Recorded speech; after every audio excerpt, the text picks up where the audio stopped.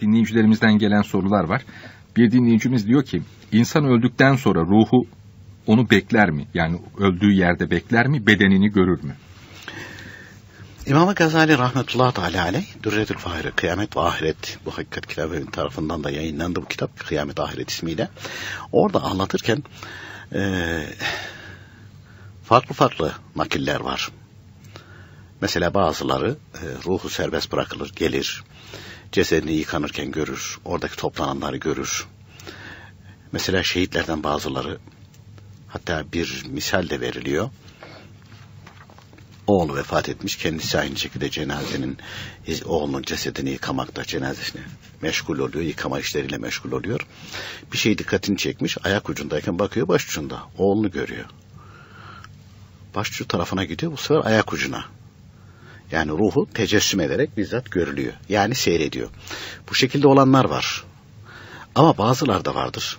Tabi imanın derecesine ve durumuna göre. imansızdır.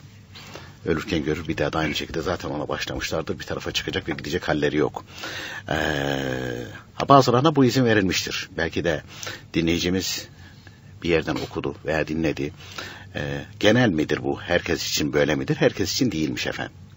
Bazılar için bu böyleymiş doğru.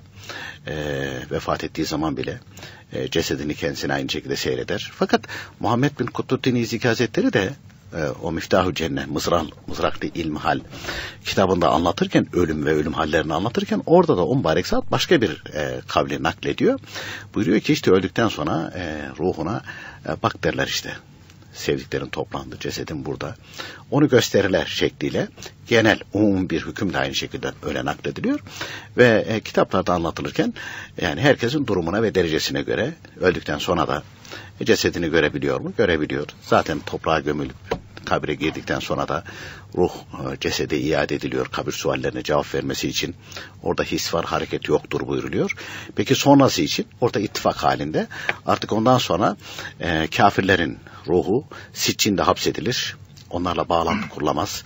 E, müminlerin ruhu illiyuna bekletir. Fakat müminlerden de bazıları da yine irtibat kurulamaz buyuruluyor. Sebebi de izah edilirken buyuruluyor ki e, ölünce insanın yaptığı her şey amelleri, iyilik veya kötülükleri şekiller halinde görülür. Dolayısıyla bir mümin imanını kurtarmıştır ama günahları çoktur. Ölür ölmez görüyor onu illiyuna götürmüşlerdir ama ruhunu orada o günahlara böyle baktıkça onları gördükçe ben bunun altından yarın mahşer günü mizanda nasıl çıkarım ben bunların hesabını nasıl veririm ne yaparım ben bunlar diye o düşünceden dolayı e, dünyadakilerle de bağlantıya geçemez. Yani onunla da rabıta kurulamaz. ifadesi geçiyor kitaplarda efendim.